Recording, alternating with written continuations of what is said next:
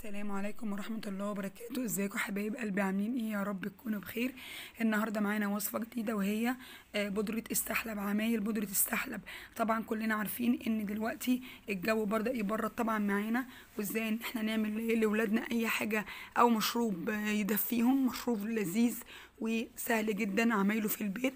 طبعا إحنا عارفين إن السحلب بنشتري الكيس الصغير بيبقى معظمه نشا وبيبقى طعمه مش مش حلو وغالي. أنا هوريك يا ست الكل إزاي تعمليه بطريقة سهلة جدا جدا وبسيطة. بس ما تنسينيش في ال like وال share وتفعيل زر الجرس عشان يوصلك كل جديد. معانا كوباية نشا كوباية جوز الهند يكون ناعم كوباية آه، سكر بودر كوباية آه، آه، دقيق الرز كوباية لبن بودر وكوباية سمسم صغيرة. ومعانا طبعا ال- الفانيليا بتاعتنا ومعانا أي مكسرات موجودة عندك. أنا كان موجود عندي شوية مكسرات في الفريزر مع فول سوداني. آه، ده طبعا للتزيين والكلام ده كله. بعد كده هنبدأ أول حاجة معانا آه، السكر البودر لازم إن إحنا ننخله عشان آه،. آه، نشوف لو في أي تكتلات زي اللي إحنا شايفينها دي ما ينفعش طبعا إيه ما يرطبش مننا وما يعملش رطوبة لازم إن إحنا ننخله كويس. وبعد كده دقيق الرز طبعا دوت أنا لو عايزة تجيبيه من السوبر ماركت مفيش مشكلة. لو عايزة توفري تعمليه في البيت أنا غاسلة كوباية رز ومنشفاها كويس جدا جدا وضرباها في المطحنة. طبعا ده دلوقتي الخشن ده مش هناخده. بعد كده هننزل باللبن الب- البودر بتاعنا آه ودوت جوز الهند. جوز الهند طبعا لازم يكون ناعم والنشا طبعا وده السمسم. السمسم على حسب عايزة نص كوباية عايزة كوباية على حسب ما انت بتحبي المقدار بتاعه إيه.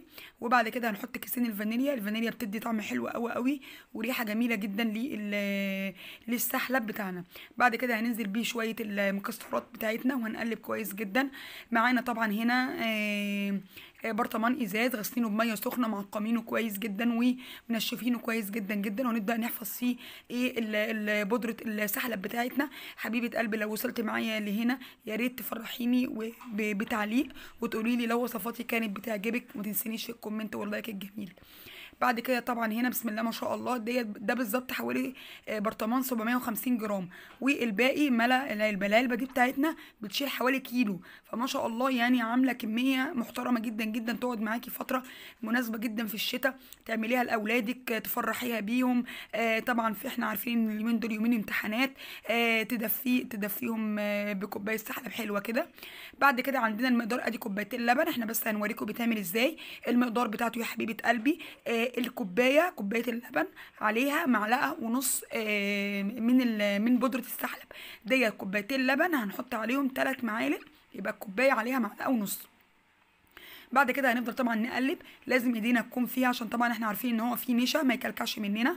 آه لغاية ما نوصل للقوام الجميل اللي إحنا عايزينه. عايزينه تقيل بنخليه شوية على البوتاجاز. عايزينه وسط. آه يعني انت بتتحكمي في التقل بتاعه دوت. دلوقتي أنا بظبط السكر بتاعه يعني عشان أولادي بيحبوه مسكر شوية. تمام حطيت معلقة السكر تاني وهنبدأ برضو إيدينا فيه يا حبيبة قلبي عشان ما يكلكعش منك. إن شاء الله يا حبيبة قلبي هتعتمد الطريقة دي في السحلب مش تشتريه من بره تاني وهتعمليه لأولادك. بسم الله ما شاء الله. السحلب في منتهى الجمال وكانت ريحته يعني صدقيني أحسن من اللي كنت بجيبه من بره. أنا أول مرة أعمله في البيت بس بصراحة أنا انبهرت من النتيجة. نتيجة ممتازة جدا جدا جدا وبألف هنا وشفا وربنا يحسن ما بين إيدينا وايديكم ويا رب يكون